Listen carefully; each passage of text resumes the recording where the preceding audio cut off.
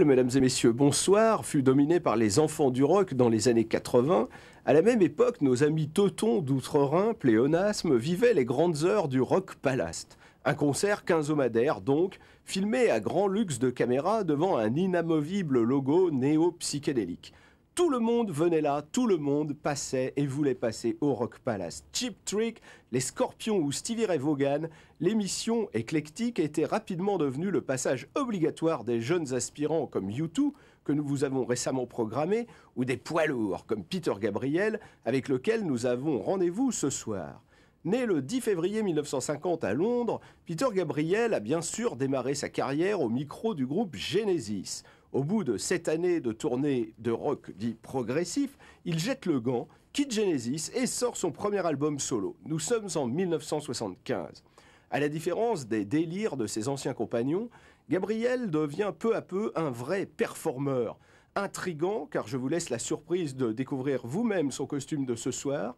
Délirant mais plein de soul, il va se battre pour obtenir un énorme succès commercial sans jamais rien renier de son postulat de départ, rester artistiquement un chercheur, un découvreur, refuser toute facilité.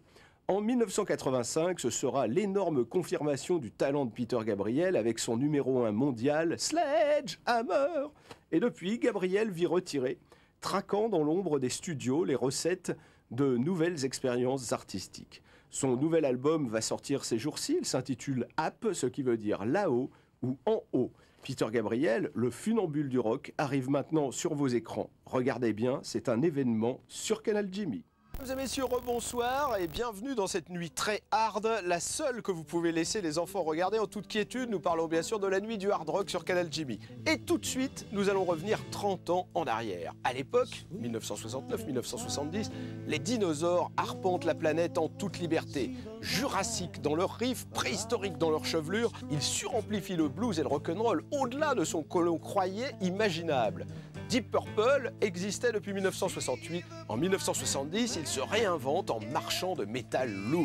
Tout est là Un soliste totalement psychopathe et ombrageux nommé Richie Blackmore, un organiste qui a trop écouté Jean-Sébastien Bach, son nom est John Lord, un bassiste vrombissant et un batteur métronomique.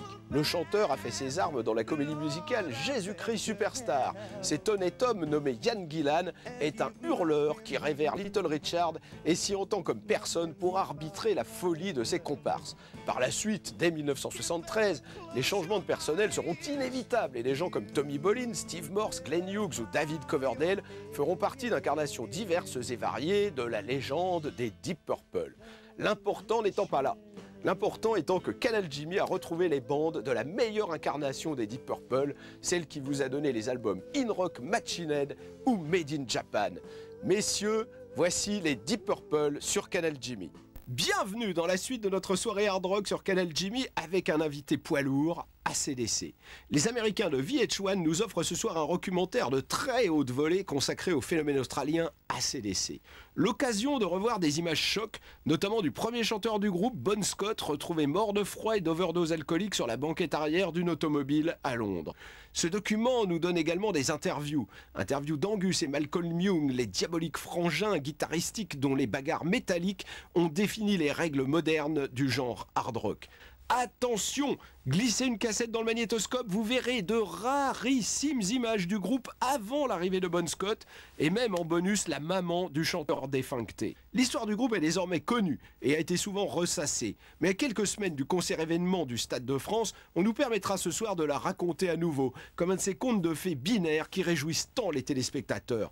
Tous les éléments sont réunis. Exotisme, Violence, sexualité crue, mort violente d'un être chéri, envie de jeter le gant, d'abandonner la partie, puis retour en force des soldats rock'n'rolliens et nouveau triomphe mondial.